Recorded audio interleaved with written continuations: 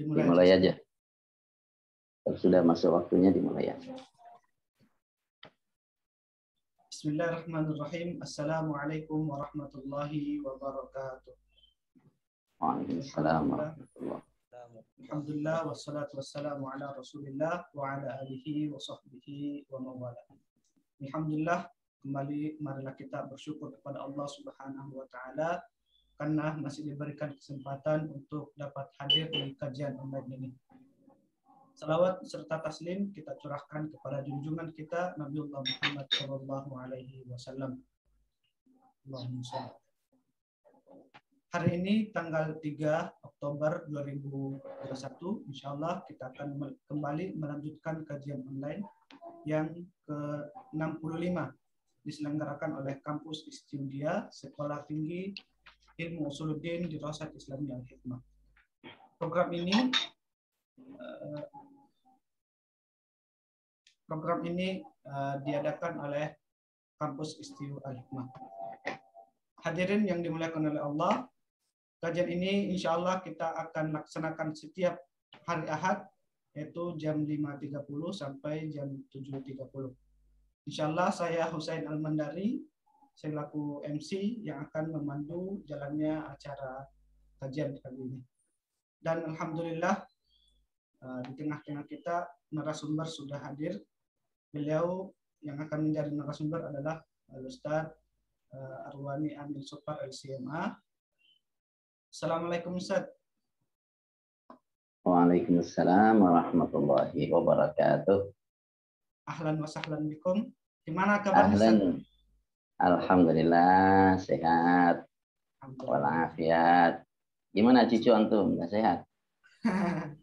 Masih muda, Ustaz. Insyaallah tahun-tahun. Masya Allah. Semoga Ustaz selalu semoga Ustaz selalu sehat, dipanjangkan umurnya, diberkahi kehidupannya. Amin amin ya rabbal alamin. Insyaallah jamaah sekalian tema pada pertemuan kali ini yaitu akhlak ibadur rahman, akhlak seorang hamba. Baik, demi keberkahan uh, acara pada kali ini, marilah kita membuka dengan membaca Al-Basmalah. Bismillahirrahmanirrahim. Selanjutnya, marilah kita dengarkan kajian yang insya Allah dibawakan oleh Ustaz uh, Arwan Amin Sopar SMA. Falyatafadhal masykura. Terima kasih. Assalamualaikum warahmatullahi wabarakatuh. Waalaikumsalam warahmatullahi wabarakatuh. Alhamdulillahilladzi ja'alana min ahli sam'i wa ta'ah wa waffaqana littiba'i sunnati wa mulazamatil jama'ah. Asyhadu an la ilaha illallah wahdahu la syarika lah وأشهد أن محمدا عبده ورسوله لا نبي ولا رسول بعده.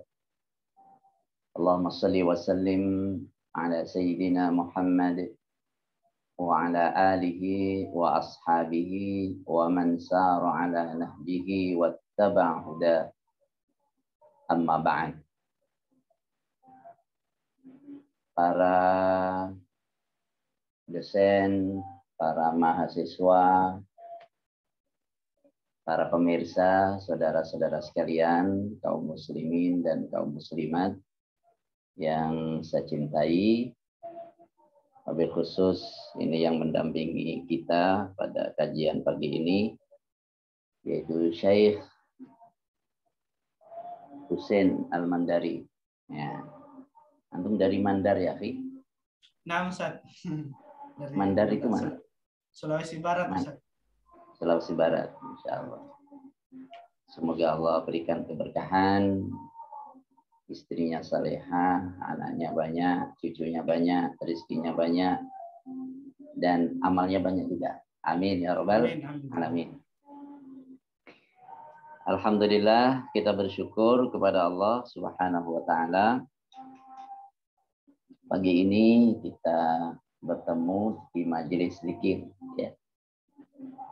karena kalau majelis itu ada ayat dibahas ya, maka itu disebut majelis zikir. Di majelis itu dijelaskan ayat-ayat Quran hadis-hadis Nabi ya. Mengajak untuk makin dekat sama Allah, makin paham terhadap ajaran-ajarannya, maka itu disebut pula dengan majelis zikir. Semoga Allah memberikan manfaat pada setiap ilmu yang Allah tambahkan kepada kita sedikit sedikit sedikit terus tambah dan bertambah pula manfaatnya dan semoga Allah menambahkan pula ilmu yang bermanfaat yang sekarang belum kita dapatkan. Amin ya rabbal alamin. Tidak lupa salawat dan salam semoga senantiasa Allah tambah curahkan untuk panutan kita, kekasih kita Nabi Muhammad sallallahu alaihi wasallam berserta segenap keluarga dan para sahabatnya dan juga untuk sekalian umatnya sampai akhir zaman nanti. Baik, pagi ini kita akan bahas tentang akhlaqu ibadir rahman akhlak ibadur rahman. Siapa itu ibadur rahman? Secara bahasa ibad itu jamak dari abad atau hamba. Ibadur rahman berarti hamba-hamba Allah yang mana Allah itu maha pengasih. Ya, disebut ibadur rahman diidofahkan kata ibad kepada nama yang mulia yaitu Ar-Rahman. Ini menunjukkan bahwa hamba-hamba ini yang disebut di dalam ayat-ayat yang akan kita bahas nanti adalah orang-orang yang mendapatkan rahmat dari Allah. Orang-orang yang disayang sama Allah. Kemudian pada waktu yang sama bahwa mereka adalah orang-orang yang dalam aktivitas amal ibadahnya, aktivitas amal salehnya, mereka semata-mata juga mengharap rahmat Allah Subhanahu wa taala. Di samping bahwa idhafah disandarkannya kata ibad kepada Ar-Rahman ini juga bernilai tasyrih memuliakan. Baitullah. Bait kan rumah. Kalau disandarkan kepada nama Allah Ar eh, Bait Allah, Baitullah, maka menunjukkan mulianya rumah itu. Di sini ibadur rahman, kata ibad disandarkan kepada nama Allah Ar-Rahman, ini menunjukkan bahwa ibad hamba-hamba itu adalah orang-orang yang dimuliakan oleh Allah Subhanahu wa taala. Saya mau konfirmasi dulu. Ini suara dari luar terdengar cukup jelas atau atau apa namanya antara suara saya dengan suara dari luar bacaan Quran ini jadi tidak jelas. Jelas Ustaz, insya Allah jelas suaranya. Masih jelas. Iya masih jelas. Kita mulai. A'udzubillahi minasyaitonirrajim. Bismillahirrahmanirrahim. Kita akan baca surat Al-Furqan mulai ayat 63 sampai ayat 77. Ayat 63 sampai ayat 77 atau sampai ayat terakhir dari surat Al-Furqan ini menerangkan tentang akhlak ibadur rahman tersebut. Orang-orang yang mendapatkan kasih sayang Allah ya dan orang-orang yang memang selalu mengharap kasih sayang Allah Subhanahu wa taala. وعباد الرحمن الذين يمشون على الأرض هونا وإذا خاطبهم الجاهلون قالوا سلاما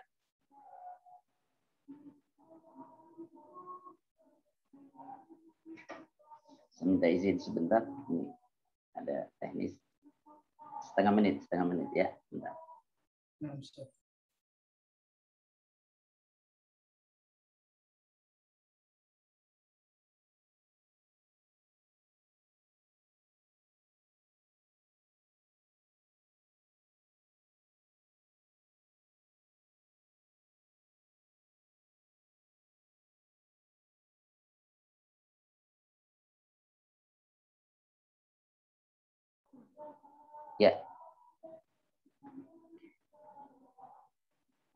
Wa ibadur rahman dan hamba-hamba Allah yang maha pengasih itu adalah sifat yang pertama, akhlak yang pertama, alladzina yamshuna 'alal ardi hauna.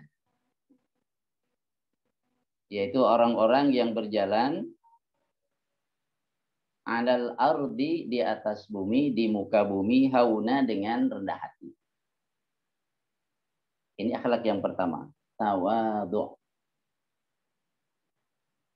Alladzina yamshuna 'alal ardi hauna yakni tawadhu. Orang-orang yang berjalan di muka bumi dengan tawadhu, dengan rendah hati. Apa itu tawadhu?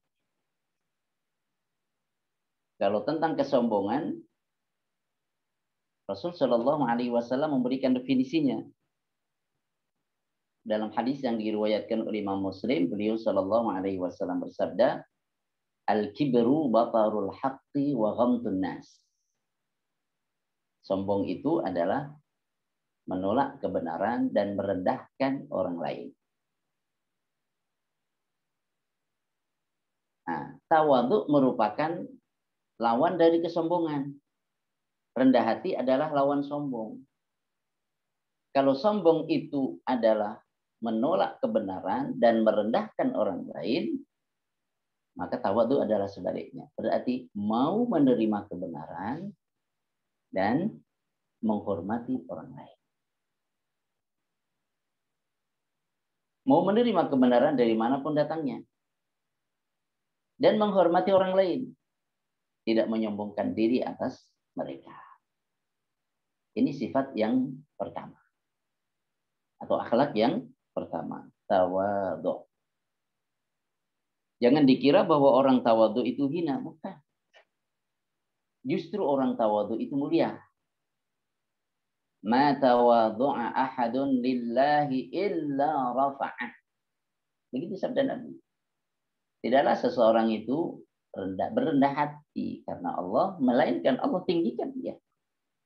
Jadi tawadhu itu identik dengan kemuliaan. Mulia di sisi Allah Subhanahu wa taala juga mulia di sisi manusia. Secara umum orang itu tidak suka kepada seseorang yang sombong terhadapnya. Kita nggak suka itu sama orang yang sombong. Apalagi direndah, kita direndahkan oleh orang lain. Secara fitrah manusia tidak suka direndahkan. Tidak suka melihat orang yang congkak. Yang sombong. Atikang, atikung, atikuno. Ini bukan bahasa Mandar ya. Ya, atikang, atikung, sopo iro, sopo ingsun. Anak, tidak disukai. Karena tidak disukai, orang juga tidak menghormatinya, tidak memuliakannya. Sehingga dia justru rendah. Gitu. Terlebih lagi di sisi Allah Subhanahu wa taala. Maka kita ingin mulia, jadilah orang yang tawadu. Terlebih itu merupakan sifat utama dari ibadur rahman. Orang-orang yang disayang oleh Ar-Rahman. Oleh Allah Subhanahu wa taala. Padahal kasih sayang Allah lah itulah yang kita minta. Yang kita harapkan. Ini yang pertama. Dari mana pun datangnya kebenaran, mungkin secara ilmu di bawah kita umpama. Mungkin secara status sosial, mungkin secara dari sisi yang lain. Tapi kalau itu adalah kebenaran, ambil. Mas apa Husen suka makan telur nggak? Nah, Ustaz. Nah, telur itu keluarnya dari mana? Dari ayam, Ustaz. Dari depan ayam apa belakang ayam? Belakang, Ustaz. Dari belakang. Walaupun dari belakang, bahkan kadang-kadang ketika keluar itu juga ada campurannya. ya. Tapi wong itu telur ambil walaupun dari belakang ayam. Tapi kalau yang keluar itu adalah mohon maaf kotoran, walaupun itu keluar dari belakangnya raja di raja, ya jangan diambil. Gitu. Jadi kita melihat masalah itu benar kalau benar ambil. Nah, itulah orang yang tawadu, mau menerima kebenaran dari mana pun datang. Qabulul haq wahtiramun nas. Nah, begitu kurang lebihnya tawadu itu. Apa itu tawadhu? Qabulul haq ya wahtiramun nas. Menerima menerima kebenaran dan menghormati, menghargai orang lain. Hada huwal awal, ini yang pertama di antara akhlak ibadur rahman. Tawadhu. Rendah hati, bukan rendah diri, bukan. Rendah hati. Tidak sombong. Ya. Bahkan ia juga tawadu. apa apa bedanya tawadu dengan tawadu? Tawadu itu tahu warna duit. Tawadu. nah, yang kita bahas bukan tawadu. Kalau tahu warna duit sih ya siapa tak siapa orangnya ya tahulah. Ini uang merah, uang uang apa namanya biru ini. Yang pakai golok ngerti itu berapa nilainya. Yang kita bahas tawadhu. Akhlak yang kedua adalah al-hilmu. Al-hilmu. Itu digambarkan dalam firman Allah, Allah wa idza khatabahumul jahiluna qalu salama. Ya.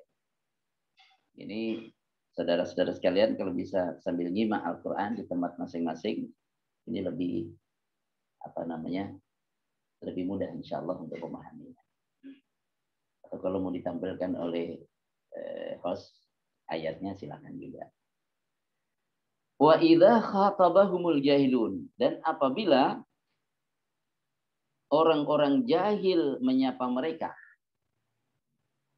Orang-orang jahil berbicara kepada mereka. Maksudnya orang-orang jahil itu berbicara kepada mereka ya, dengan ungkapan-ungkapan yang jahil pula.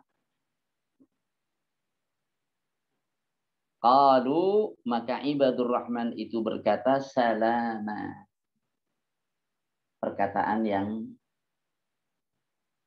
selamat. Salama perkataan yang selamat. Bukan menjawab Assalamualaikum, bukan. Tapi mereka menjawab salama dengan perkataan yang selamat. Kalau menjawab Assalamualaikum itu namanya disebutnya qalu salamun. Ini di sini qalu salama. Jadi kalau ada orang-orang jahil itu menyapa mereka, ya menyapa ibadur rahman dengan sapaan-sapaan yang buruk, dengan caci maki umpamanya. Ente ini orang fasik, orang ini ente ini kadrun, ente itu apa dan segala macam. Ya, sebutan-sebutan yang negatif. Lalu ibadur rahman itu berkata atau menjawab salama perkataan yang selamat. Selamat dari apa? Selamat dari dosa selamat dari kebodohan. Tidak menjawab kebodohan dengan kebodohan yang sama. Tidak menjawab caci maki dengan caci maki yang sama. Sebab kalau caci maki dibalas dengan caci maki, berarti antara yang mencaci pertama dengan yang mencaci kedua, apa bedanya? kualitasnya berarti sama. Sim sim, sami mawon, podo baen, sarwoken. Understand what I mean, Mr. Mandari?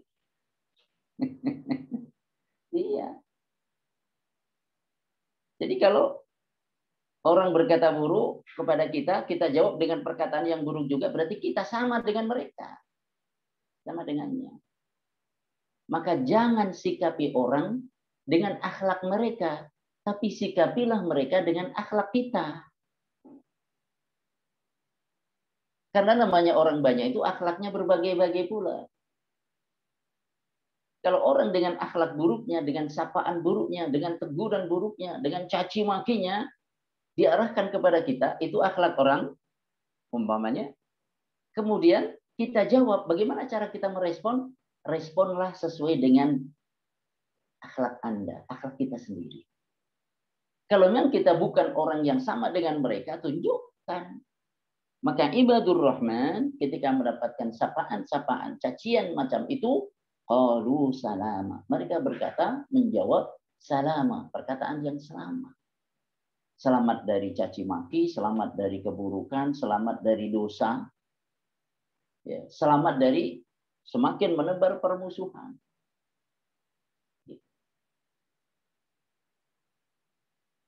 Makanya Imam Syafi'i dalam bait syairnya mengatakan nataqa safihu fala tujibhu fa khairun min ijabatihi sukut. Masih ingat nggak nih?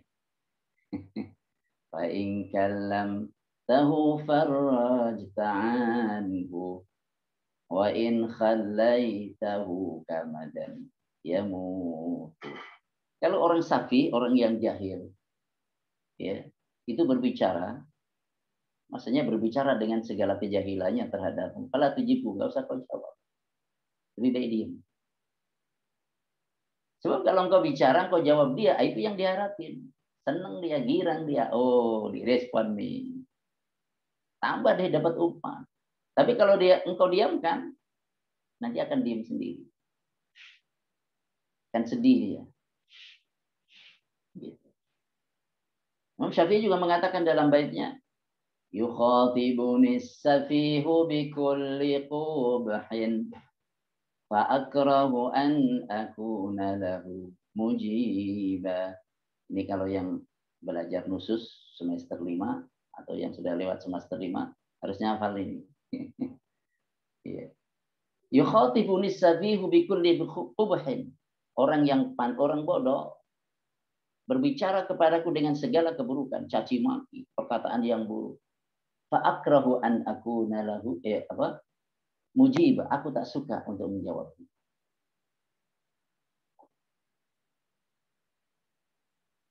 Yazidu safahatan fa'azidu hilman ka'udin zatahul ihraqu tiba. Ia semakin bertambah bodoh, caci makinya makin bertambah-tambah, aku bertambah santun. Dia bertambah bodoh, aku bertambah santun. Sama-sama tambahnya, tapi kualitas pertambahannya berbeda. Orang yang bodoh, orang yang jahil itu bertambah kebodohannya, caci makinya, aku bertambah pula. Tapi bukan bertambah caci maki, tapi bertambah kesantunan. Yazidu safahatan, fa'azidu hilman. Ka'udin zadahul ihraqu tiba. Seperti kayu gaharu, semakin dibakar, semakin baunya menyeruak ke seluruh penjuru. Kayu bahar, kayu baharu, kayu gaharu itu wangi. Dan wanginya itu akan semakin tampak ketika apa? Ketika dibakar, dikenaikin api, dibakar, kemudian di situ asap berasap, itu asapnya yang, yang menyebar aroma wangi. Dan ibadur rahman itu memiliki sifat al-hilm santun tadi. Ya, Orang berkata buruk padanya, orang caci maki terhadapnya, ia tidak ingin meladeni dengan cara yang sama. Ia sikapi dan balas dengan santun. Idfa billati hiya Responlah dengan cara yang lebih baik. Bukan akhsyam. Bukan dengan cara yang lebih kasar. Lah. Yang lebih baik. Orang bertambah bodoh, hendaklah kita bertambah santun. Semakin terkuat kualitas. Ibadur Rahman itu justru ketika orang berbuat dulu pada. Ini yang kedua, yaitu al-hilm atau diterjemahkan dengan kata santun. Apa itu al-hilm? Ada musul antil ghadab, tak cepat marah. Itu namanya al-halim. Maka salah satu di antara nama Allah adalah Al-Halim yang maha santun. Apa artinya? Allah tidak cepat marah.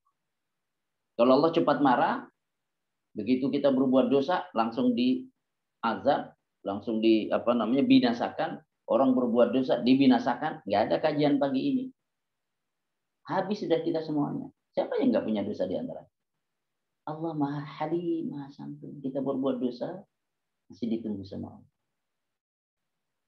Innallaha yabsutu yadahu bil-laili liyatuba musii'un nahar.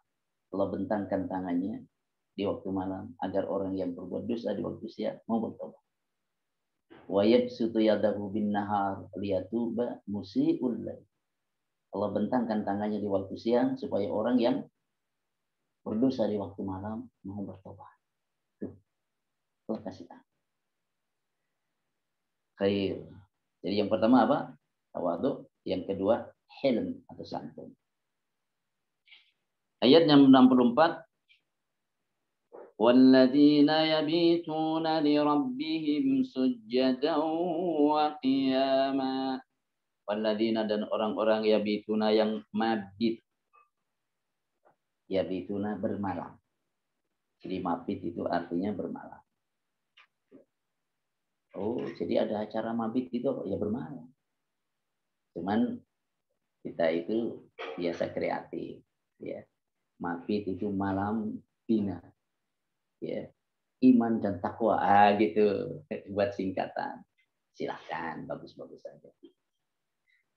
Waladina yabituna dan orang-orang yang mabit bermalam li rabbihim untuk Tuhannya. Oh, karena Tuhannya. Tuhan mereka sujadan dalam keadaan sujud wa qiyaman dan dalam keadaan berdiri. Masya Allah. Artinya apa? Ibadur Rahman itu melakukan tahajud. Wa minal laili fatahajjad bihi nafilatan lak. تتجافى جنوبهم عن المضاجع قم الليل إلا قليلا ayat-ayat tentang Jadi mereka itu bermalam karena Tuhannya dalam keadaan sujud dan bangun. Maksudnya melaksanakan sholat. Sholat di waktu malam berarti sholat malam. Sholat malam disebut juga qiyamul lail dalam bahasa Arab. Disebut pula dengan tahajud. Maka ini akhlak mereka yang ketiga adalah melaksanakan tahajud sholat Keutamaan sholat malam silahkan baca. Banyak hadis-hadis yang menerangkan tentang keutamaan. Bahwa sholat malam itu adalah kebiasaan orang-orang yang saleh. Ya Allah. Semoga Allah mudahkan kita termasuk orang yang ahli malam. Allah berikan taufik kepada kita.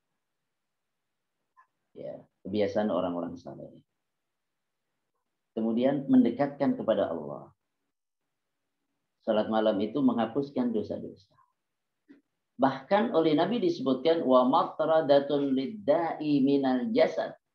Salat malam itu mengusir penyakit dari fisik. Jadi bukan saja mengobati penyakit-penyakit jiwa, tapi juga penyakit-penyakit fisik. Jadi dengan qiyamul lail akan lebih sehat jasmani dan rohani. Allahu Akbar. Di dalam ayat ini disebutnya adalah dengan kata sujud dan bangun. Disebut kata sujud dan bangun. Maksudnya adalah sholat. Orang-orang yang mengisi waktu malamnya dengan sholat. Apakah berarti semalam full? Hadis ini, ya, ayat ini tidak menunjukkan makna ini. Ayat ini hanya menunjukkan bahwa mereka di malam harinya menunaikan sholat malam karena Tuhan. Lalu bagaimana pembagian malam yang ideal untuk tidur, untuk istirahat, ya, untuk sholat malam? Nah, lihat di antaranya contoh, ya, terutama contoh yang diberikan oleh baginda Nabi kita Muhammad Sallallahu Alaihi Wasallam. Tidur separuh malam, kemudian setelah itu sholat sepertiga malam, kemudian istirahat lagi seperenam malamnya. Nah, itu riwayat tentang seperti apa Rasul Shallallahu Alaihi Wasallam membagi malam harinya antara tidur dengan qiyamul lail.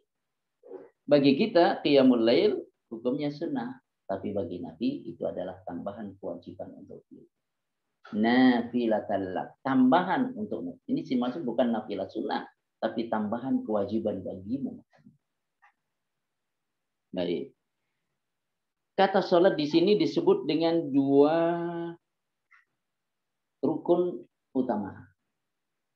Yaitu sujud dan bangun. Itu kan di antara rukun sholat. Sujud. Sujud adalah sedekat-dekatnya seorang hamba dengan Allah. Itu posisi sujud. Akrabu ma yakunul amdu min rabbihi sajid. Sedekat-dekatnya seorang hamba dengan Tuhannya adalah ketika dia dalam keadaan sujud. Berarti sujud adalah keadaan yang paling mulia antara seorang hamba dengan Tuhan. Jadi semakin orang itu merunduk kepada Allah, semakin patuh kepada Allah, semakin menghamba, mengabdi kepada Allah, semakin mulialah dia. Kemudian setelah disebutkan tentang keadaan paling mulia yaitu sujud, disebutkan pula tentang keadaan paling mulia lainnya dari sisi bacaannya, yaitu bangun. Sujud keadaannya mulia. Bangun ketika berdiri sholat, bacaannya mulia. Karena yang dibaca adalah Al-Quran. Bismillahirrahmanirrahim. Alhamdulillahi Rabbil Alamin. Ar-Rahmanirrahim. Al-Quran yang dibaca. Maka di sini disebutkan waqiyama dalam keadaan berdiri. Mengingatkan tentang mulianya bacaan saat berdiri itu. Sebagaimana disebutkan sujud sebagai keadaan paling mulia dan berdiri adalah di dalamnya ada bacaan paling mulia yaitu Al-Qur'an. Dan Al-Qur'an adalah firman Allah Subhanahu wa taala. Ngendikane Gusti Allah. Tawadu, santun, dan tahajud.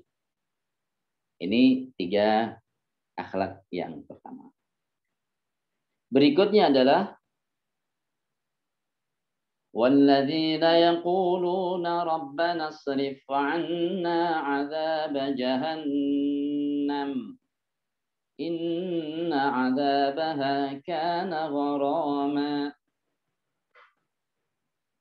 Ini ayat 65 ya surat Al-Furqan. Dan orang-orang yang berkata, maksudnya di sini berdoa, Rabbana duhai Tuhan kami.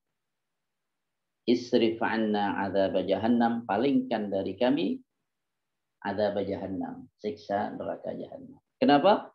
Inna azabaha kana gharama, sesungguhnya siksaannya, siksaan neraka jahannam itu kana gharama. Ay mulazimah. Kekal. Ini untuk orang-orang yang tidak ada iman. Untuk orang-orang kafir. Untuk orang-orang musyrik. Ya.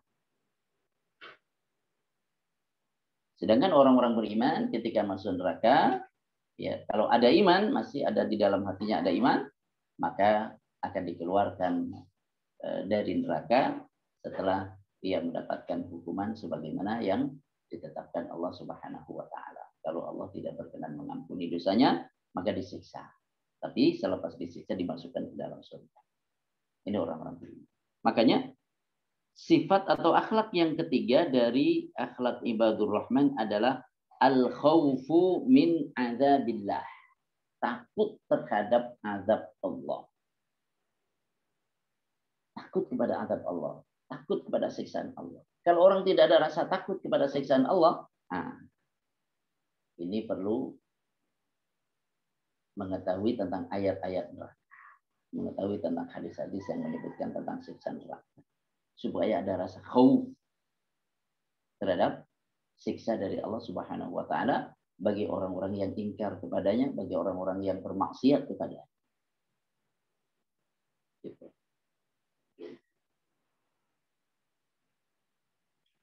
Al-khawf min adabillah. Takut terhadap adab Allah subhanahu wa ta'ala.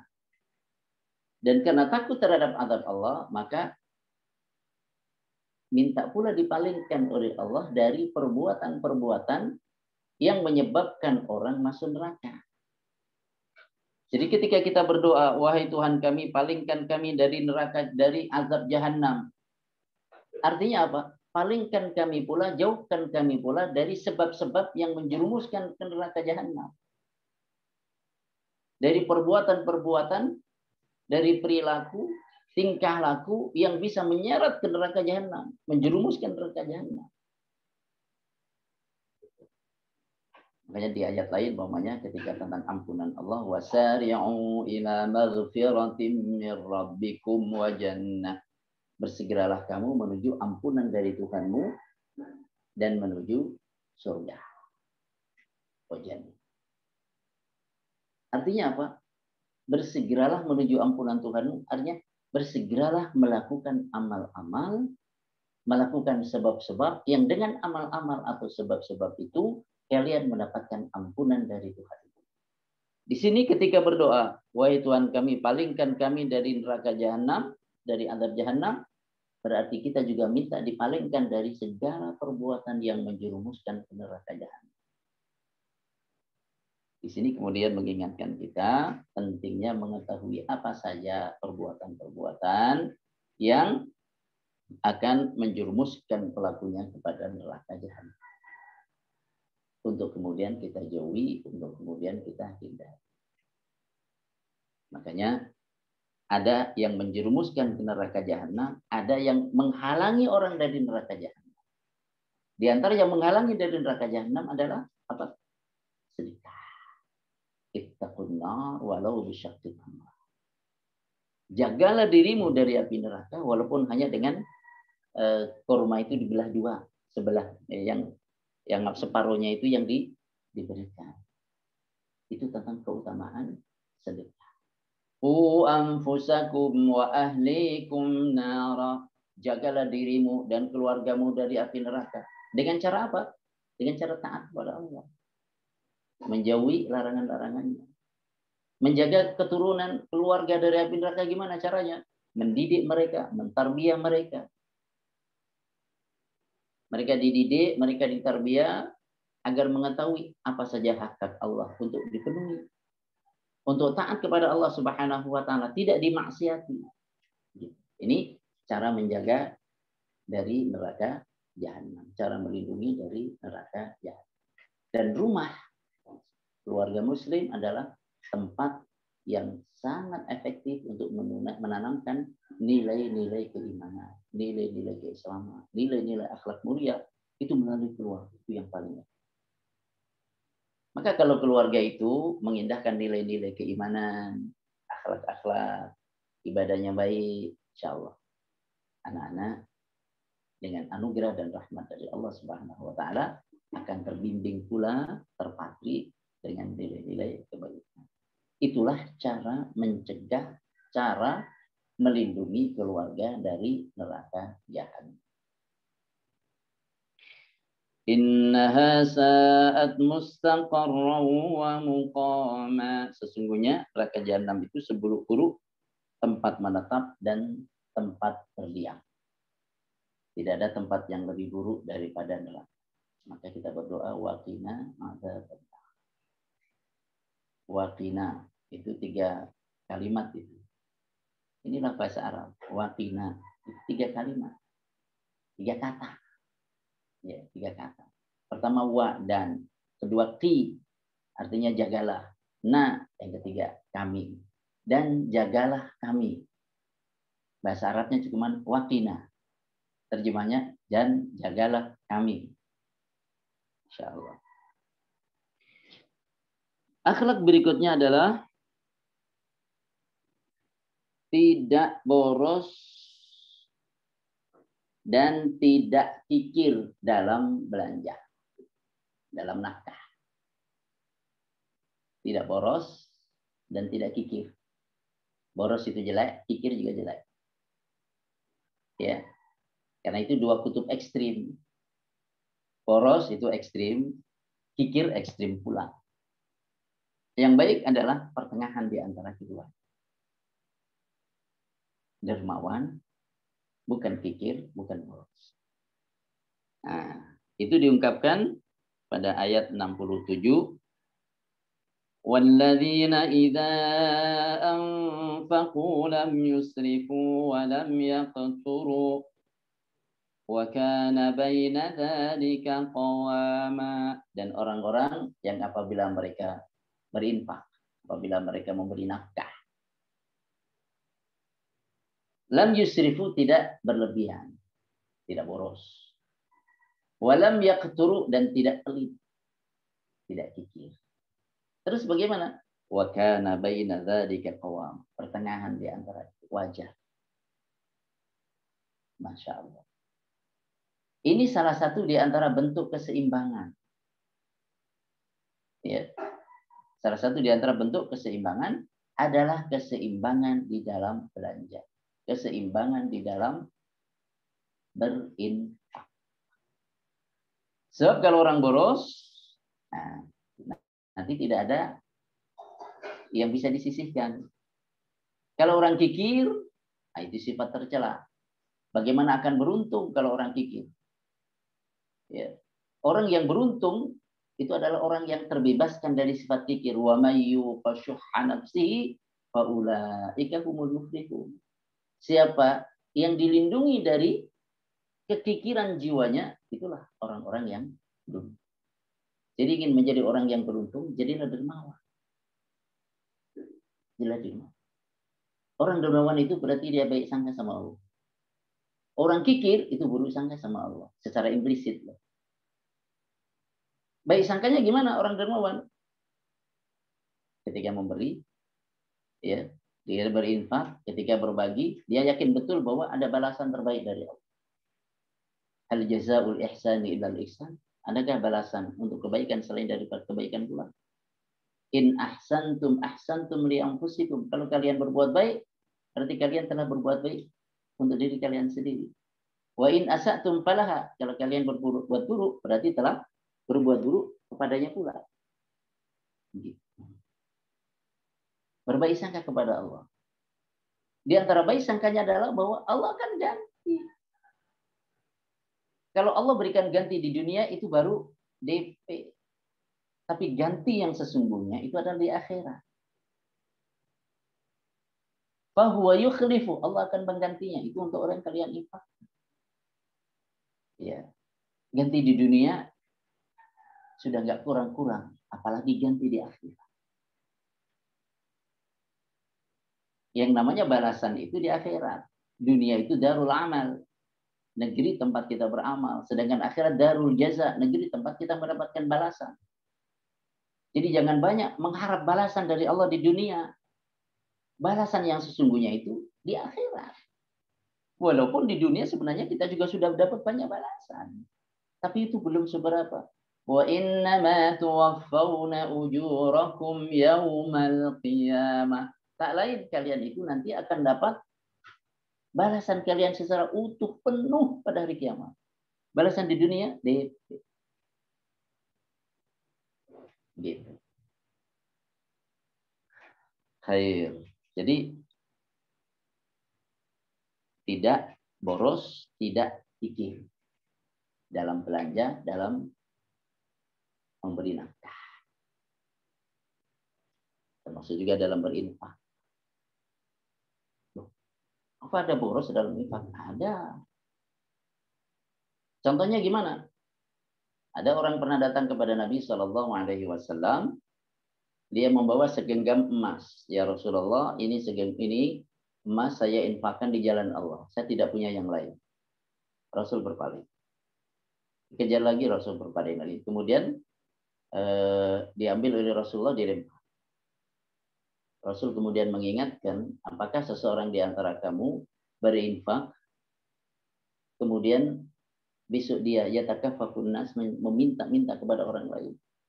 Maka beliau bersabda, innamas sadaqatu an Sedekah itu dari punggung kekayaan. Maksudnya, hendaknya ketika seseorang bersedekah, itu dia masih ada kecukupan dan tidak menjadi beban bagi orang lain. Rasul tidak mau menerima sedekahnya sahabat tadi karena ia akan jadi beban bagi orang lain di kemudian hari. Berbeda dengan sikap Nabi kepada Abu Bakar. Abu Bakar dalam uh, rangka untuk membiayai perang Tabuk, dia berinfak dengan seluruh hartanya. Ketika Rasul tanya, apa yang kau tinggalkan, apa yang kau sisakan untuk keluargamu, wahai Abu Bakar? Dijawab, aku sisakan Allah dan Rasulnya. Masya Allah. Ya. Umar menginfakkan separuh hartanya. Itu kondisi-kondisi khusus dalam keadaan khusus pula dan orang-orang khusus. Yang dengan infaknya tidak kemudian menjadi beban bagi orang lain. Karena khusnudzonnya pada Allah Subhanahu wa taala sangat kuat kedekatannya dengan Allah Subhanahu والذين إذا أنفقوا لم يسرفوا ولم يقتروا وكان بين ذلك قواما Sudah berapa ini? Sudah lima ya. Yang pertama, tawadu. Sudah. Yang kedua, santun. Tak cepat marah. Yang ketiga, tahajud. Salat malam. Yang keempat, takut adab Allah. Yang kelima, tidak boros, tidak kikir. Ini sifat-sifat mulia ibadur rahman. Kita lanjutkan. والذين لا يدعون مع الله إلها آخر ولا يقتلون النفس التي حرم الله إلا بالحق ولا يزنون dan orang-orang yang tidak berdoa kepada Tuhan yang lain bersama doanya kepada Allah. Maksudnya tidak berbuat syirik. Jadi berdoa kepada Allah dan kepada yang lain itu syirik. Berdoa kepada Allah saja, ah, itulah tauhid. Ibadur Rahman ini mereka tidak berdoa kepada sesuatu yang lain di samping doa mereka kepada Allah. Enggak. Berarti murni tauhid. Wala yaqtuluna an-nafsa allati Allah dan mereka tidak membunuh jiwa yang dimuliakan oleh Allah.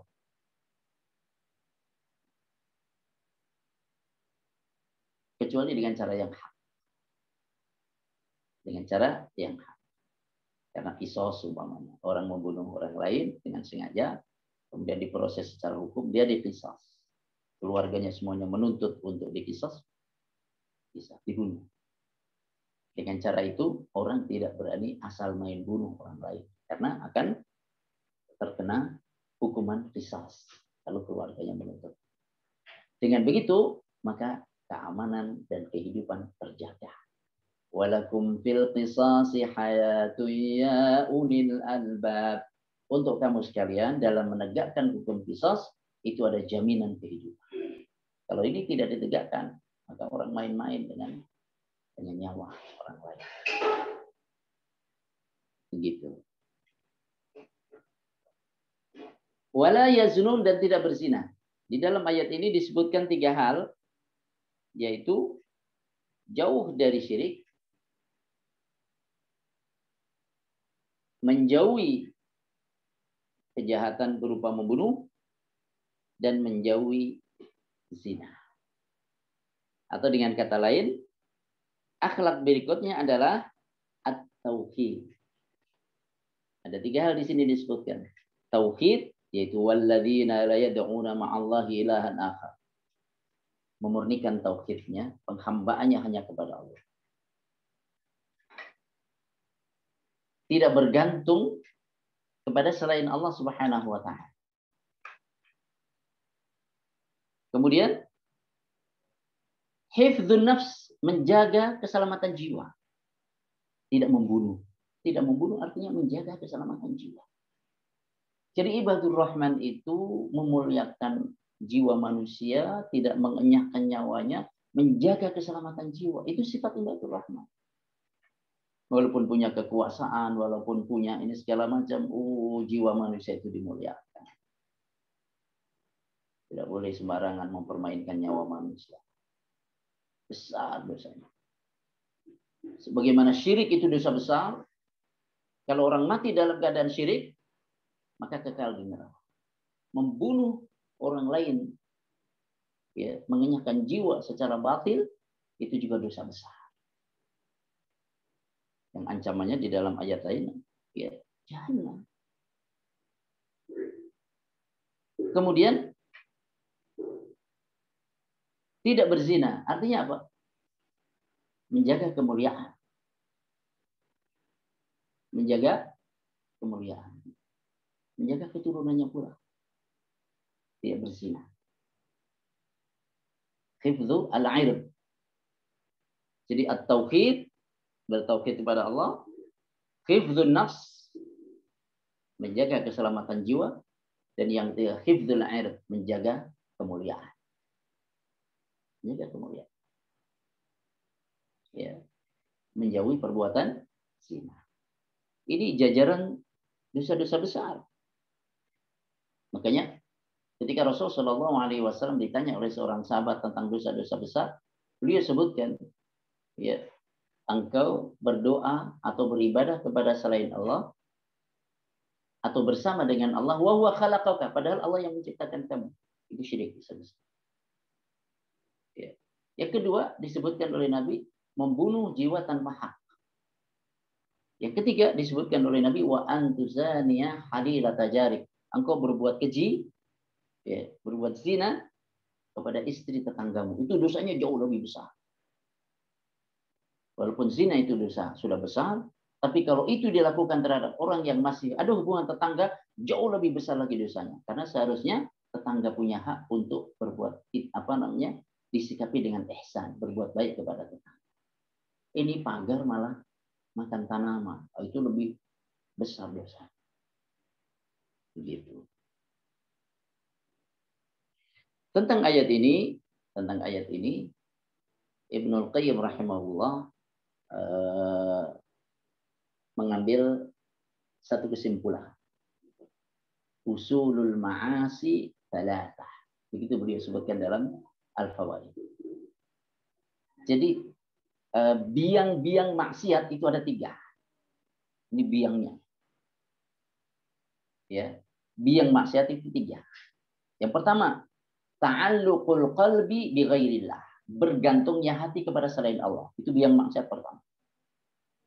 Bergantungnya hati kepada selain Allah bisa berujung syirik. Bisa berujung syirik. Satu. Yang kedua, ta'atul quwwati al-ghadabiyah, memperturutkan kekuatan amarah. Ya. Biang maksiat yang kedua, biang dosa yang kedua adalah ta'atul quwwatil ghadabiyah, memperturutkan kekuatan amarah. Kalau memperturutkan kekuatan amarah, nanti sampai bisa berujung kepada pembunuhan kepada jiwa orang lain. Yang ketiga, kata beliau adalah ta'atul quwwati asyahwaniyah. Memperturutkan kekuatan syahwat. Ketika orang memperturutkan kekuatan syahwat, ya nanti sampai terjerumus kepada perbuatan zina. Dan ibadur rahman dilindungi oleh Allah Subhanahu wa taala dari ketiga hal tersebut.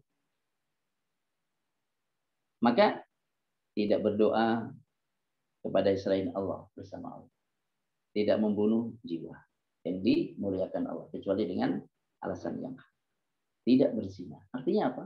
Mereka bergantung hanya kepada Allah. Mereka tidak memperturutkan kekuatan amarah. Mereka tidak memperturutkan kekuatan nafsu syahwat. Subhanallah, ini akhlak ibadur rahman. Wa may yaf'al dzalika yalqa athama. Siapa yang melakukan itu berarti berbuat syirik, membunuh jiwa, berzina, yalqa atama. Dia mendapatkan apa namanya? siksaan, hukuman. Apa itu? Yudha'af lahu al-'adzabu yawmal qiyamah wa yakhludu fihi muhana. Dilipat gandakan azab baginya pada hari kiamat dan kekal di dalamnya dalam keadaan terhina. Ada syirik, maka kekal di. Selain daripada dosa syirik, dikembalikan kepada Allah. Kalau Allah menghendaki, Allah ampunkan tanpa menyiksa orang yang melakukannya. Dan kalau Allah menghendaki, Allah menyiksanya, kemudian dientaskan dari api neraka karena ada iman. Lalu bagaimana dengan orang yang bertobat? Wa man taba wa amila. Eh, sebentar. Ayat sebelumnya 70. Illa man taba wa amana wa amila salihan. Kecuali orang yang taubat dan beramal dan beriman serta beramal saleh. Faulaika yubaddilullahu sayyiatihim hasanat. Itulah orang-orang yang Allah ganti keburukannya dengan kebaikan. Wa kana Allahu ghafurar rahima. Allah adalah Maha Pengampun, Maha Penyayang. Maka di antara sifat ibadur rahman berikutnya adalah at-taubah. Taubat. Suka taubat. Itu ibadur rahman. Dan siapa yang bertaubat dan beramal saleh, ya, fa innahu yatubu ilallahi mataba. Maka sesungguhnya ia telah kembali, ia kembali kepada Allah mataba dengan taubat yang sebenarnya. Jadi ciri orang bertobat itu adalah ia beramal saleh. Mengisi kekosongan dengan amal saleh. Maksudnya bagaimana? Namanya orang berbuat maksiat. Maksiat itu kan aktivitas. Iya kan? Yang aktivitas ini terjadi pada unit waktu tertentu. Ketika orang bertobat, tadinya unit waktu itu diisi dengan aktivitas maksiat, maka dia ganti dengan amal soleh. Unit yang sebelumnya digunakan, unit waktu yang sebelumnya digunakan untuk berbuat maksiat, diganti kontennya dengan amal soleh. Maka kalau orang bertobat, tidak melakukan amal saleh, nanti akan kembali terjerumus kepada perbuatan maksiat. Karena apa? Karena waktunya kosong. Maka jangan dibiarkan waktunya itu kosong. Waktu yang digunakan untuk maksiat sebelumnya, jangan dikosongkan. Kalau dikosongkan dari amal soleh, nanti keseret lagi kepada perbuatan maksiat. Ini rahasianya. Mengapa banyak ayat-ayat ketika menyebutkan tentang taubat, maka diiringi dengan amal amal saleh. Supaya apa? Aktivitas yang ditinggalkan berupa maksiat berganti dengan aktivitas baru yaitu amal saleh. Dan itulah di antara makna yang disebutkan pada ayat 70 tadi. Jadi orang yang bertobat kepada Allah, yang beriman, beramal saleh, keburukan-keburukannya diganti dengan kebaikan oleh Allah Subhanahu wa taala. Mana yang pertama adalah unit waktu, bagian waktu yang tadi digunakan untuk keburukan, Allah ganti dengan amal saleh. Melakukan amal saleh. Ini satu. Yang kedua, di antara mana ayat ini adalah keburukan-keburukan yang pernah dilakukannya itu, kemudian ia bertobat kepada Allah, dan dengan bertobat kepada Allah, ya, menyesali atas perbuatannya, kemudian mengisi dengan melakukan perbuatan yang baik, maka Allah ganti keburukan-keburukan itu menjadi kebaikan. Masya Allah, ini anugerah dari Allah Subhanahu wa Ta'ala. Jadi di antara sifat ibadur rahman adalah at-taubah. Waktunya gimana? Mas uh? Kelihatannya udah habis waktunya ya. Sampai jam. Sekarang nanti sudah kita sisakan. jam 6.30. Ya, kita sisakan barangkali nanti ada tanya jawab atau kita selesaikan. Kita selesaikan ya, secara singkat aja. Baik. والذين لا يشهدون الزور وإذا مروا باللغو مروا كراما menjauhi kedustaan. Berarti jujur. Ibadur Rahman itu jujur, sidik. Sidik. Adamul kadib, tak dusta.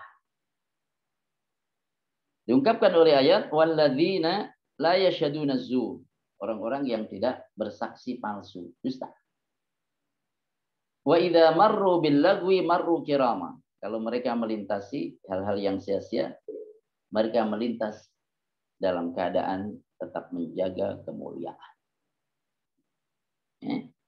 Jadi mereka memiliki sifat sidik menjauhi dan Sifat berikutnya adalah al-i'rad 'anil lagwi, berpaling dari hal yang sia-sia. Berarti waktunya efektif. Berpaling dari hal-hal yang sia-sia.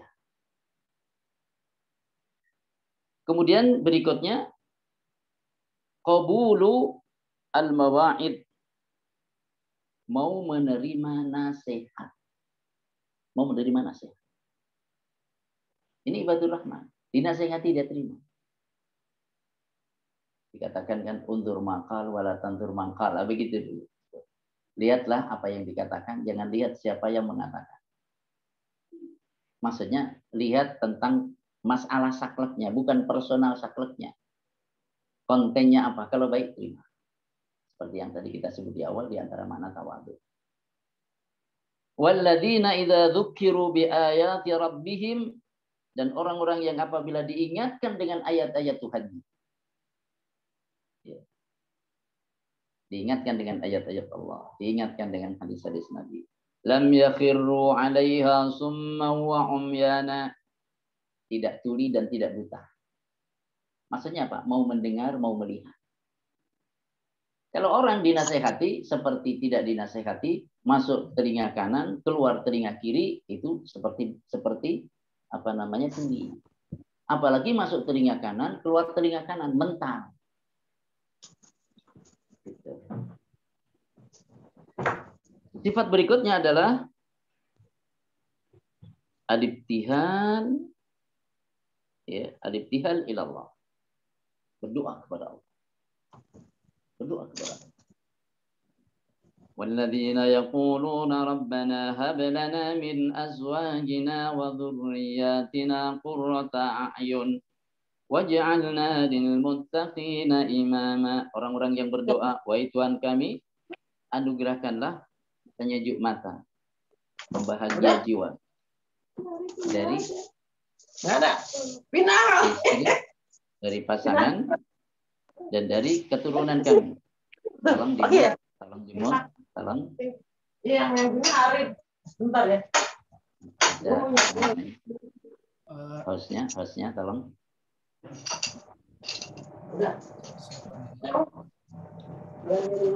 Pada jemaah yang belum menutup mic-nya, mohon untuk menutup. Di mute. Dari apa nih? Nggak bisa ditutup dari sentral, antum. Ini bukan host Ustaz. Oh. Waja'alna lil muttaqina imama dan jadikan kami ikutan atau imam bagi orang-orang yang bertakwa. Iftihar, mohon kepada Allah Subhanahu wa taala yang manfaatnya tidak terhenti pada diri sendiri tapi juga kepada orang-orang yang ada di seputarnya. Ulaika yujzauna al-ghurfata bima sabaru fiha tahiyatan wa salama. Itulah orang-orang yang mendapatkan balasan. Berupa tempat yang tinggi al surga. Disebabkan kesabaran mereka dan mereka mendapatkan penghormatan dan salam selamat.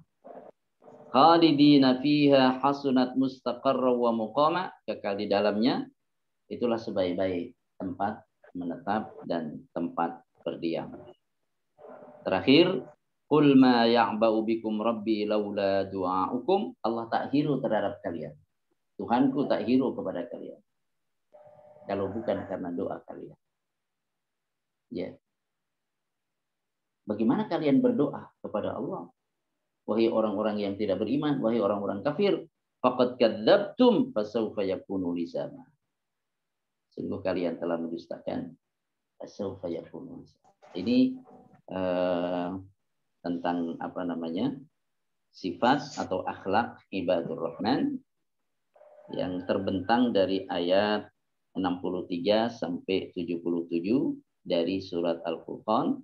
Yang pertama tawadu, yang kedua santun, al-hilm, yang ketiga at-tahajud, yang keempat takut dari adab Allah terhadap adab Allah, al-khawfu min adabillah. Yang kelima, tidak boros, tidak kikir. Yang keenam, jauh eh, atau tauhid. Eh, kemudian yang ketujuh, eh, hifdzun nafs, menjaga keselamatan jiwa. Yang kedelapan, menjaga kehormatan. Jaga kehormatan. Berikutnya adalah at-taubah, taubat. Berikutnya lagi adalah as-sidq, jujur, yakni menjauhi kedustaan. Yang eh, selanjutnya berpaling dari hal-hal yang sia-sia, mau menerima nasihat dan aliftihal Allah berdoa kepada Allah. Semoga Allah memberi manfaat bagi setiap ilmu yang ditambahkannya kepada kita. Barakallahu fikum. Aku astaghfirullahaladzim wa lakum. Assalamualaikum warahmatullahi wabarakatuh. Waalaikumsalam warahmatullahi wabarakatuh. Syukran Ustaz materinya. Uh, uh, untuk sesi ini kita akan buka sesi tanya jawab. Kemungkinan uh, ada di antara jemaah sekalian yang masih belum terlalu paham terkait masalah materi yang tadi dipaparkan oleh Ustaz. Kami buka mungkin bisa melalui chat dan juga bisa bertanya langsung. Silakan. Assalamualaikum Ustaz. Waalaikumsalam warahmatullahi Saya mau tanya Ustaz. Saya nama saya Yenti Kurnia.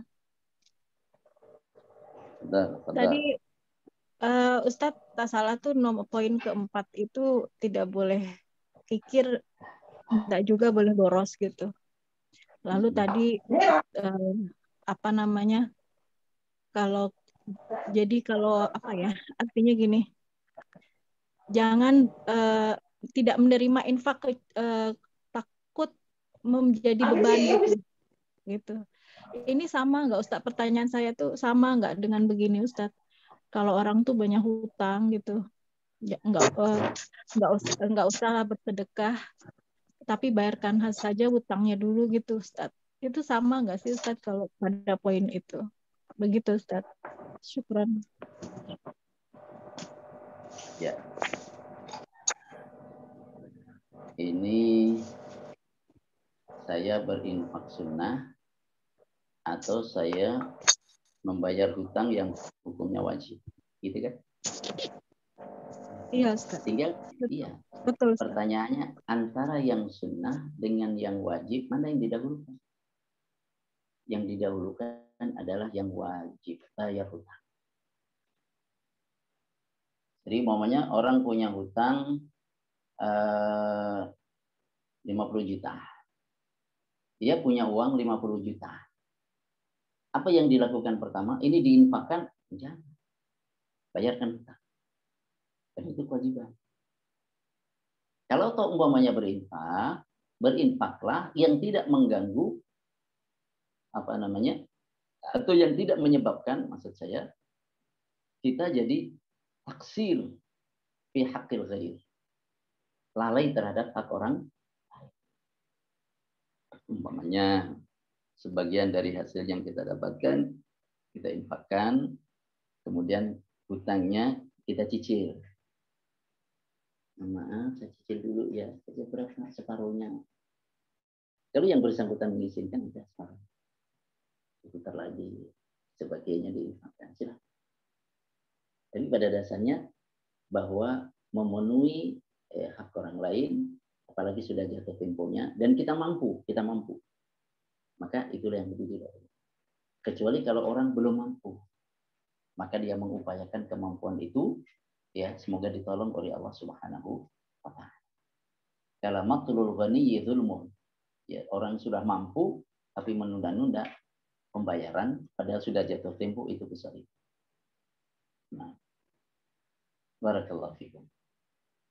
Alhamdulillah. Syukran Ustaz. Afwan, barakallahu fikum. Amin. Mungkin ada lagi yang ingin bertanya, silahkan. Bisa melalui chat dan juga bisa secara langsung. Assalamualaikum. Waalaikumsalam warahmatullah. Uh, Ustadz izin bertanya. Yang kedua itu uh, apa? Santun. Iya. Uh, santun terhadap mungkin perkataan atau sikap orang-orang yang tidak baik. Uh, santun itu mohon contohnya Ustadz, apakah kita hanya diam dan bersabar gitu atau bagaimana Ustadz? Orang ngomong ke kita, picik lu. Eh? Tuh. Uh, apalagi? Picik bodoh. Uh, deso. Apalagi? Katro. Ya. Ini kata-kata yang jelek. Itu contoh kan? Terus bagaimana sikap kita? Apakah kita mengatakan kau yang picik kau yang ini kan ini? Nah, itu berarti kita menjawab dengan hal yang sama ya kita tidak menjawab dengan perkataan yang sama. Kamu itu orang yang tukang bohong, umpamanya kan? Kamu itu orang yang apa namanya? bisa nasihat tapi tidak bisa menjalani untuk diri sendiri. Sarung plikat didondomi, iso nasihat, orang iso ngelakoni, jarkoni, iso ujar nggak bisa ngelakoni. Bu, paham orang kia. Sadar-sadar. Oh, banyak segala macam. Ya kau tukang berbuat dosa, sok suci, segala macam. Orang ngomong begitu pada kita. Gimana sikap kita? Sikap kita adalah kalau itu ada pada diri saya, semoga Allah mengampuni. Gitu. Hmm. Itu kan contoh. Kalau ada pada diri semoga Allah mengampuni. Kalau ternyata itu tidak ada pada diri saya, semoga Allah mengampuni Anda. Hah? Kan enak. Kalau itu ada pada diri saya, semoga Allah mengampuni saya. Kalau itu tidak, yang kau katakan itu tidak benar, semoga Allah mengampuni Anda. Iya. Jadi kita tidak terjebak kepada saling caci maki satu sama lain. Ini terutama di media sosial. Hati-hati. Setiap postingan itu ada hisapnya di sisi Allah Subhanahu wa taala. Yang baik ya hisapnya baik. Yang buruk balasannya buruk pula. Maka bersikaplah, berstatuslah sesuai dengan tingkat akhlak Anda. Tingkat akhlak. Di situ muncul orang sesuai dengan akhlaknya. Kebatilan harus apa namanya? Ya, tidak diboleh, tidak di apa namanya? tidak dibiarkan liar begitu saja. Makanya kita perlu eh, perlu apa? Eh, dakwah itu, dakwah itu itu ada ibarat eh, orang nanam itu ada nanam pohon-pohon besar, ada nanam eh, apa namanya selingannya sayur, eh, apa namanya tanaman-tanaman yang eh, bisa cepat dipanen. Nanam pohon-pohon besar itu membina supaya apa? Ketika ada hujan lebat segala macam, ini tetap tegak ini. Bumi ini juga tidak apa tanah tidak tergerus, tidak longsor. Tapi kalau tanamannya itu tanaman sayur semuanya di pegunungan, udah longsor ini semuanya. Gitu. Jadi ada eh, dakwah-dakwah yang yang mengingatkan orang ini dan itu yang sifatnya eh, seperti menanam eh, pohon, pohon apa namanya sayur mayur atau tanaman-tanaman yang usia pendek itu. Tapi jangan lupa membina. Itulah yang nanti akan menjaga umat ini, menjaga apa namanya ajaran-ajaran ini. Begitu. Barakallah. Jazakallah Ustaz. Iya. Ya, mungkin ada lagi yang ingin bertanya, dipersilahkan.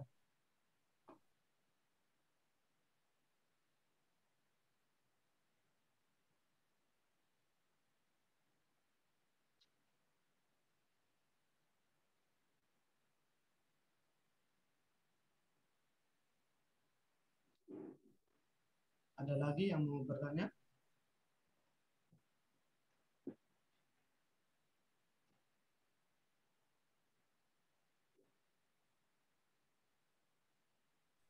Sepertinya uh, sudah habis, sudah tidak ada lagi yang bertanya.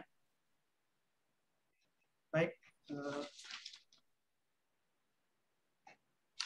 insya Allah uh, acara yang akan datang masih akan kita laksanakan untuk kajian yang insya Allah pematerinya adalah uh, Ustadz Sofan Johari yaitu dengan tema fikih investasi investasi. Jadi bagi jamaah yang mau ikut minggu depan bisa uh, join lagi di Zoom yang, yang sama kayak ini. Baik, selanjutnya uh, kami silah, uh, persilakan uh, ke Ustaz Arwani Sofar Amin Sofar LCMA untuk uh, menutup uh, closing statement dan juga uh, pembacaan doa. Tayyib, muliakan diri Anda dengan sifat-sifat mulia. Ya. Tinggikan uh, kedudukan Anda di sisi Allah Subhanahu wa taala dengan akhlak ibadur rahman. Dan kita mohon semuanya kepada Allah agar dimudahkan untuk mengamalkan ilmu yang Allah tambahkan kepada kita. Allahumma alif ala khairi qulubana wa aslih data bainina wa hdina subul salam wa najina min adh-dhulumati ila nur bi rahmatika ya arhamar rahimin. Allahumma anfa'na bima 'allamtana wa 'allimna ma yanfa'una wa zidna ilma. Alhamdulillahi ala kulli hal wa a'udzu billahi min hali ahli nar. ربنا هب لنا من أزواجنا وذرياتنا قرة أعين وجعلنا للمتقين إماما. اللهم أحسن عاقبتنا في الأمور كلها وأجرنا من خزي الدنيا وعذاب الآخرة. ربنا آتنا في الدنيا حسنة وفي الآخرة حسنة وقنا عذاب النار وتوفنا مع الأبرار. يا عزيز ويا غفار ويا كريم ويا ستار. harim hadhihi wujuh jami'an 'anil nar walhamdulillahi rabbil alamin. Terima kasih. Assalamualaikum warahmatullahi wabarakatuh. Baik, itulah materi pada pagi hari ini. Mudah-mudahan bermanfaat bagi kita semua.